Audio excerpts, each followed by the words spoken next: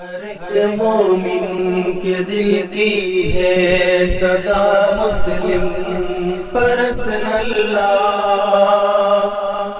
نہ بدلا ہے، نہ بدلے گا میرا مسلم، پرسن اللہ۔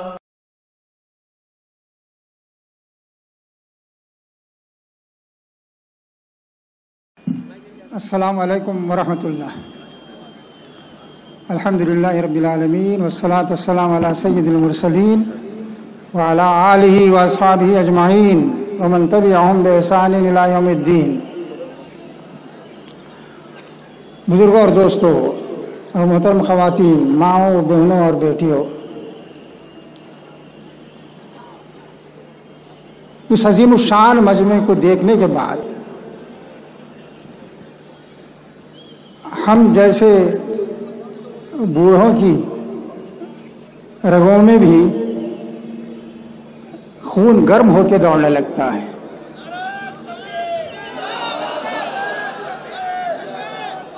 یہ اجتماع آپ کے لیے، میرے لیے اور پوری پوری ملت کے لیے مبارک ہو۔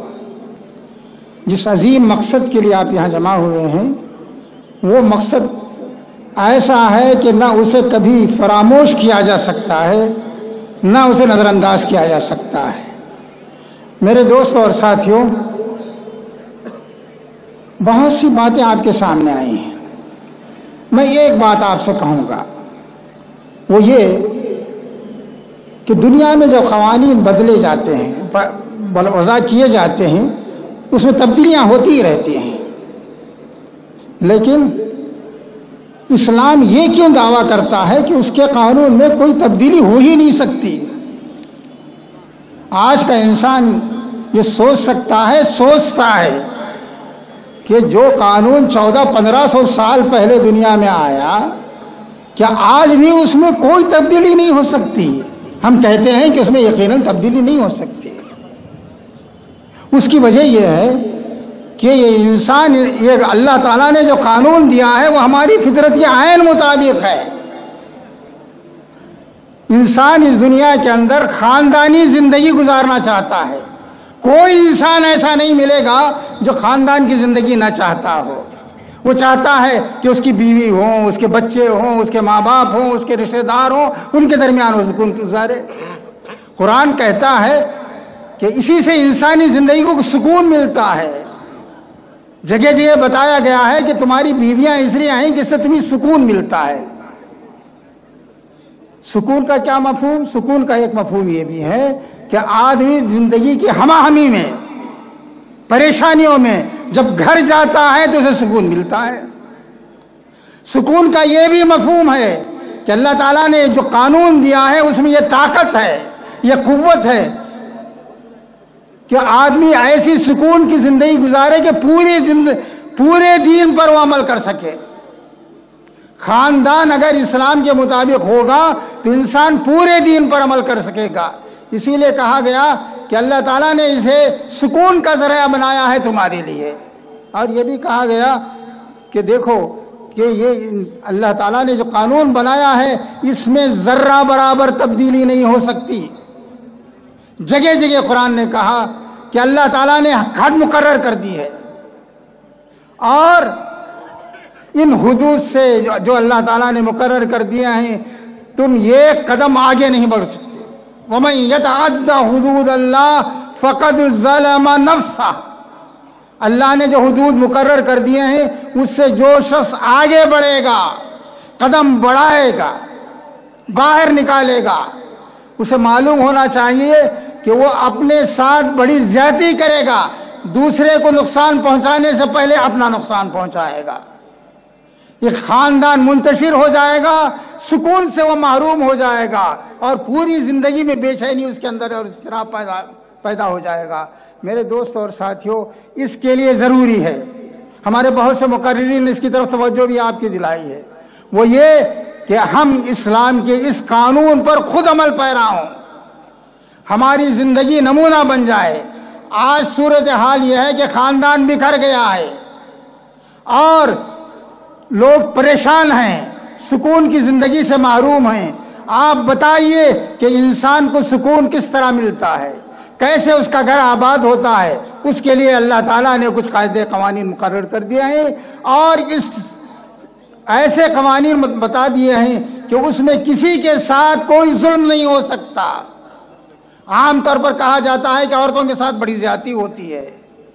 قرآن نے بار بار بتایا کہ اللہ تعالیٰ نے ان کے بھی حقوق رکھے ہیں، ان کی ذمہ داریاں بھی رکھی ہیں۔ ایسا با اس لیے کہا گیا کہ صرف یہ نہ سوچے آدمی کہ ان کے اوپر ذمہ داریاں ہی ہیں، بلکہ اس لیے کہا گیا کہ وہ حقوق بھی اپنی رکھتی ہیں، ان حقوق کا پورا کرنا ضروری ہے۔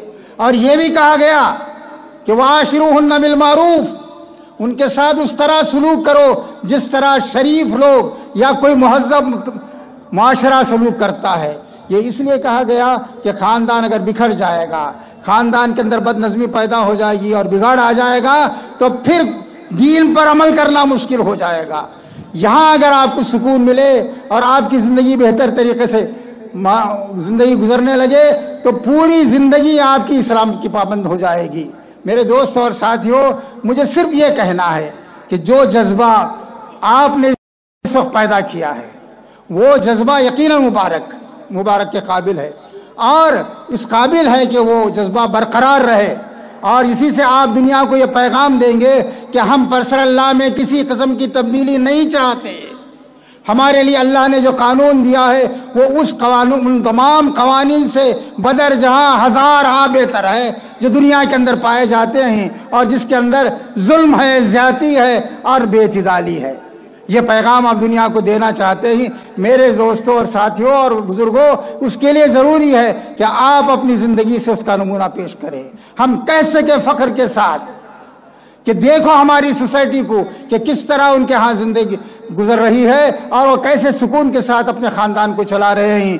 یہ یہ جب تک آپ اس کا ثبوت نہیں دیں گے اس وقت تک اگر آپ خود اپنے قوانین کو، اپنی پریشانیوں کو دنیا کے سامنے لے جائیں گے اور یہ کہیں گے کہ ہمارے مسائل کو تم حل کرو، تو کسی کو یہ یقین نہیں آئے گا کہ آپ کے پاس اس سے بہتر قانون موجود ہے۔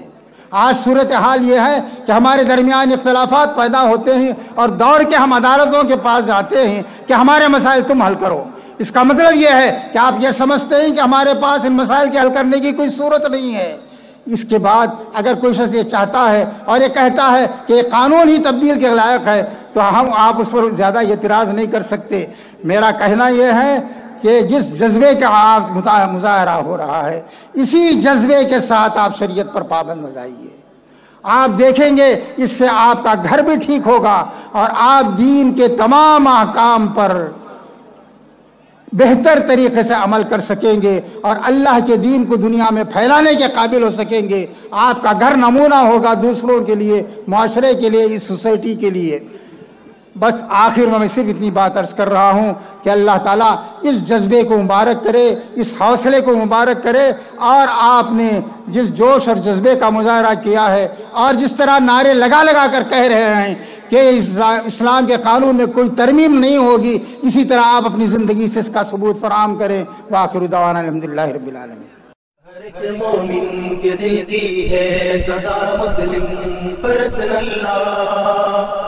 نہ بدلا ہے نہ بدلے گا میرا